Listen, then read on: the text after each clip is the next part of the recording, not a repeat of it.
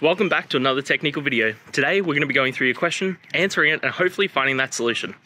Guys, remember to stay just a little bit crazy like me, and hopefully you find that resolution. Now, let's continue on to the video.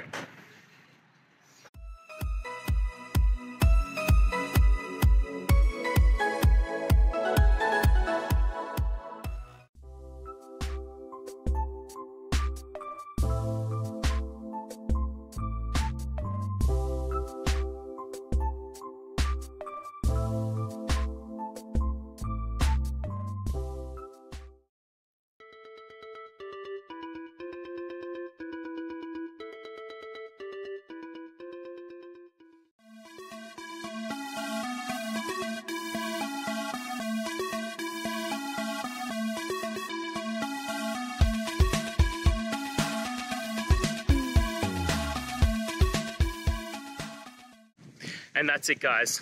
We've worked through, gone through your question, hopefully found that solution you're looking for.